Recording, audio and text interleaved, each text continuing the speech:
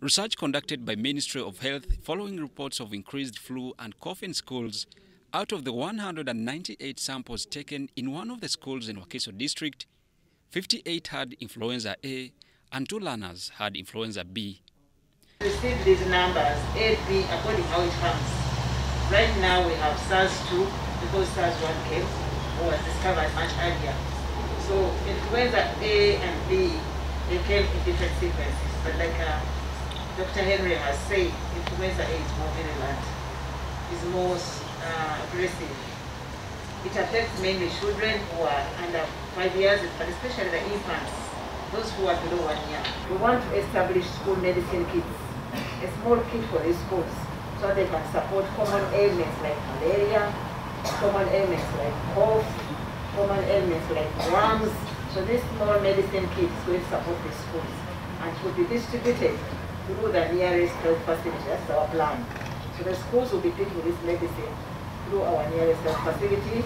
The Ministry of Education and Sports has now partnered with the Ministry of Health to fight this new occurrence of upper respiratory complications in schools.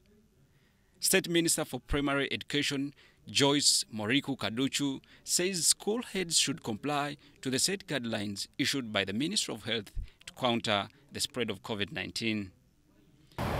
We are calling upon school authorities to strongly implement adherence to standard operating procedures such as use of face masks at all times and high hygiene, hand washing, hand washing, hand washing in classes, dormitories, and all service points in all school environments.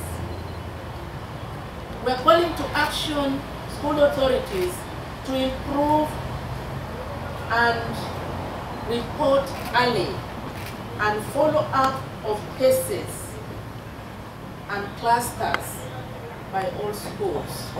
We are calling upon authorities to ensure students should maintain respiratory etiquette by covering mouth and nose when coughing and sneezing. And lastly, we are calling administrators to ensure students are kept hydrated by taking plenty of water or juice. In conclusion, we'd like to reassure the public to remain calm and vigilant in the wake of this outbreak of influenza A as the country remains on high alert to avert any potential resurgence of COVID-19. We do not recommend closure of any learning institutions to prevent flu transmission.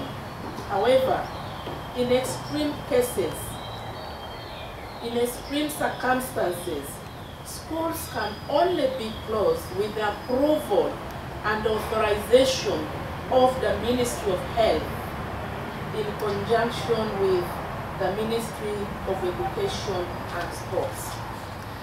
The Director of Basic and Secondary Education, Ismail Mulindwa, attributes widespread of flu and cough in schools to uncontrolled interaction of learners while doing co-curricular activities. We also guided and still guide and encourage schools to scale down on activities that would bring many learners uh, congregate at a certain point at a certain time. Officials from the line ministries of health and education had prioritized health of learners in schools top on agenda. Joshua Kagoro, UBC News.